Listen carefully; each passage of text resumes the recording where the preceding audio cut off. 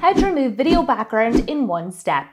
In this video, I'm going to show you how to remove a video background and then how to change the background of your video without a green screen. And we'll also be adding some animated text. Now to do this, we're going to be using Veed's AI background remover tool, so let's get started. Now we're in Veed, let's import our video so we can remove the background.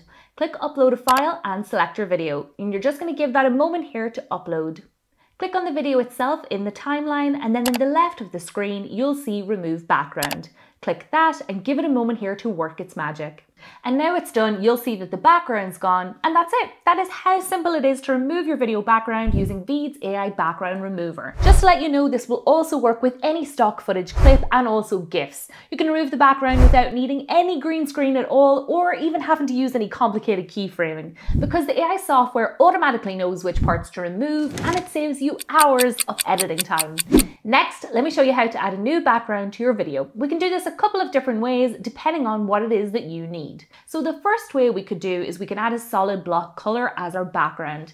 Click settings in the toolbar, next to background, click the color bucket and you can choose any color or shade that you like to fill the background. So that's one way to change it. The second way is to put your playhead at the beginning of your timeline and select elements in the toolbar.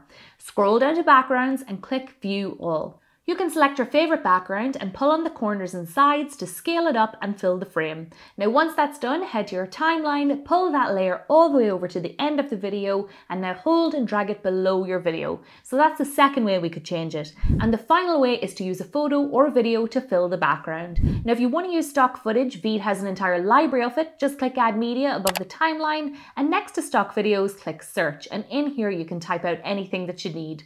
However, for this, I actually have my own photos and videos that I want to use. So I'm going to click back, click upload a file and choose my first photo or video and just give it a second here to upload. Now I'm going to move it over in the timeline to the point that I want it to show on screen and I can shorten the duration of it by pushing it over in the timeline.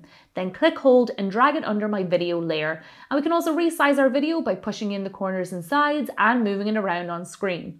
Now we're going to repeat this again because I want to add a video to my background. I'm going to put my playhead in the timeline at the point that I want it to show on screen and then click add media above the timeline. Choose my video and just give it a moment to load. Same as before, shorten the duration of it and drag it below the video layer. Now, if your video has any audio on it, just select the video layer and in the left panel, we can turn that audio off. And you can just keep repeating this for the remainder of your video and add as many photos or videos as you like. And with all that editing time that we've now reclaimed, thanks to the AI background remover tool, we can now add a final little flair. So we're gonna add some animated text. Let's give our video a title. Put your playhead to the very start of the video and click text in the toolbar. We have some pre-made animated templates in here indicated by the three circles that you see, so I'm going to select one of those. Now click on the first text layer to open up the text panel. We can delete the text that's in there and type out our own. We can also change the font, size or color if we like, and then just repeat the same thing for the other text layer. You can shorten the duration your text stays on screen by highlighting both layers and pushing them over to the left. And we can also move the text to another part of the screen. Just make sure that your text stays within that safe zone. And if you like, you can add more animated text throughout the video just by repeating those steps. Now let's export our video with our new background and text. Click Done in the top right hand corner where it says Quality, click that and choose your render settings.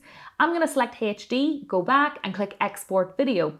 Just give that a moment here to render and then we can watch it back just to make sure we're happy with it. Here's the top five things that you need to do in Marrakesh. Stay in a riad. It's a traditional Moroccan mansion with a courtyard or a pool and you'll find one for every budget.